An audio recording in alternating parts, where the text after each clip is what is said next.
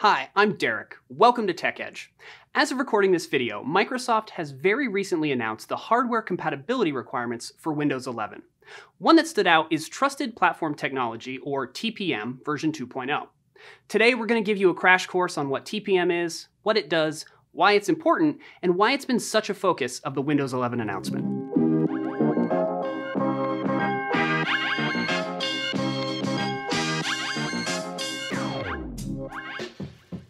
Security of digital information has been a hot topic from the moment digital information became a thing.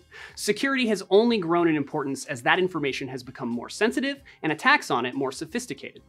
Providing a secure barrier between the information on a computer and the attackers who wish to access it is the role of a trusted platform module. TPM, now in its second generation, TPM 2.0, acts as a secure crypto processor, generating, storing, and limiting the use of cryptographic keys required to access system files. Simple, everyday terminology there, right?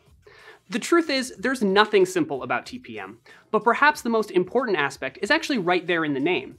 The module in Trusted Platform Module has traditionally been exactly that, a physical chip that's soldered onto a motherboard and provides your computer with what amounts to a digital fingerprint. That fingerprint is then required to access any of the information stored on your system. Because it's physically located inside your machine, attackers are much less likely to have any luck spoofing, tampering with, or defeating its protections. TPM can be leveraged to encrypt your storage drive. This protects your data, including your identity and operating system files, where traditional anti-malware solutions are vulnerable. Encryption also protects your data in the case of physical theft. Hardware-based TPM has been around for a while, but more recently both AMD and Intel have begun implementing firmware TPM or FTPM solutions. For example, Intel's Platform Trust Technology, or PTT, found in some Intel chipsets, provides the same TPM 2.0 security protocols without the need for an additional physical chip. To your operating system and applications, PTT looks and acts exactly like TPM. The difference is, computers with Intel PTT, or AMD's built-in firmware version, don't require a dedicated crypto processor or memory. Firmware TPM enables more devices, including lower cost, lower power systems, to support the same root of trust concepts enabled by hardware-based TPM. This is especially helpful in the industrial PC space as it lets organizations establish the same rigorous levels of security on endpoints and gateways as on desktop hardware.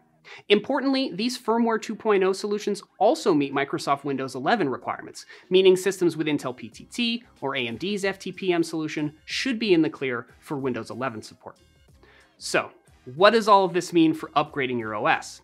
Microsoft is clearly taking a stand when it comes to security. They've provided a full list of processors compatible with Windows 11, which is linked in the description.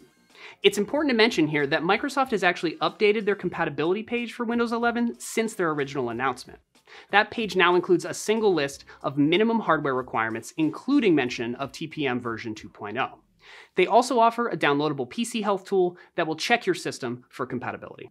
Before running the PC Health tool, you'll want to ensure that, if available, TPM, PTT, or FTPM are enabled on your system, which is easily done in the BIOS.